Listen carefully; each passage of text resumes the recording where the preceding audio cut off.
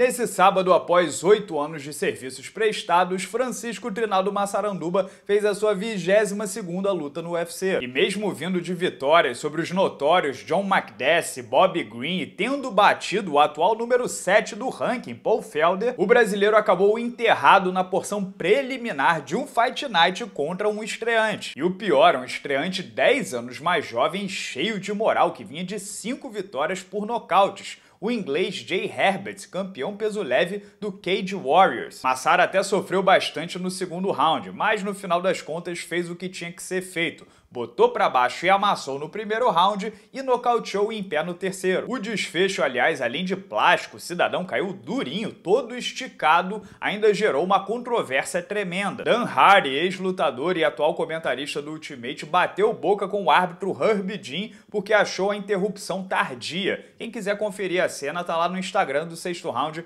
o link é o segundo aqui na descrição. E acreditam que mesmo tendo rolado seis bônus de 50 mil dólares por performance nessa noite, Massaranduba ficou fora da seleção. A parte dele, pelo menos, foi feita com louvor. Venceu, nocauteou e, como sempre, gerou entrevista pós-luta memorável. Entre outras coisas, Massara anunciou a subida para a categoria até 77 quilos e pediu Donald Cerrone, Mike Perry e um canhoto que ele não lembrou o nome. Vi muita gente torcendo o nariz para essa mudança de peso, mas eu sou testemunha ocular de que o cara comeu o pão que o diabo amassou esses anos todos. Já fiquei hospedado no mesmo hotel hotel em que ele estava cortando o peso e a semana da luta é sempre difícil demais. Ele é daqueles como Rafael dos Anjos, Gilbert Durinho e Kevin Lee que a categoria de fato é inexistente até 74 quilos. Prestes a completar 42 anos, seu corpo simplesmente travou, parou de suar e ele pela primeira vez em 22 lutas não conseguiu alcançar os 70 quilos. Com 1,73m de altura e 1,78m de envergadura, ele vai ficar pequeno batendo 77 quilos?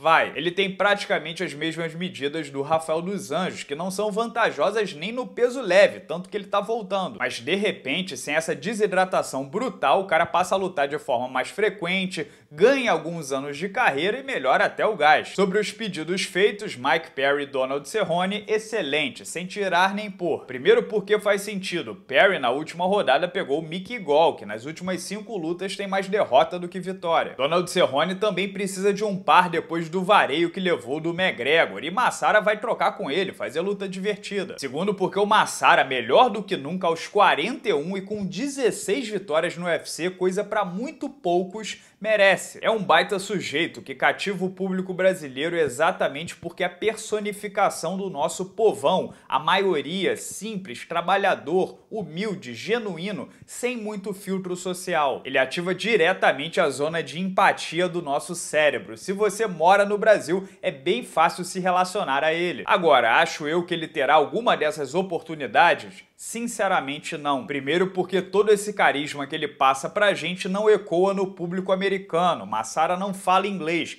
e esse jeitão lá não diz muita coisa. Se em 2016, depois de sete vitórias consecutivas, o máximo que ele conseguiu foi fechar a porção preliminar de um Fight Night contra o Kevin Lee, não vai ser agora com 41 anos que a empresa vai apostar nele para liderar um pay-per-view. E digo mais, a culpa não é só do UFC. A empresa é um mero intermediário entre atletas e a vontade do público. Se a demanda pelo cara fosse arrebatadora, o UFC botaria ele contra o McGregor ou contra o Masvidal. A culpa é nossa se gostamos tanto assim dele, por que, que o cara tem 76 mil seguidores no Instagram?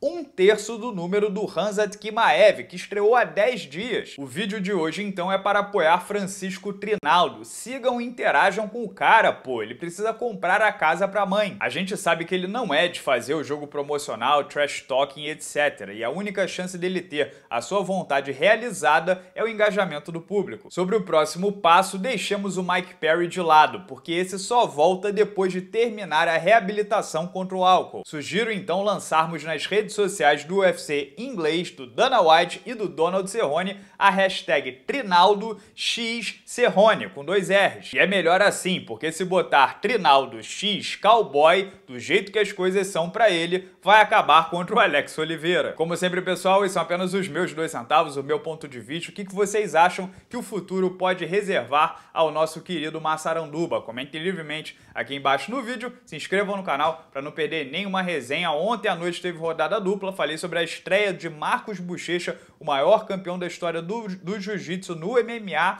e também sobre o fenômeno Hanzat Kimaev. Vocês conferem clicando nos dois links aqui do lado. Fechado? Grande abraço a todos, muito obrigado pela audiência de sempre e até a próxima.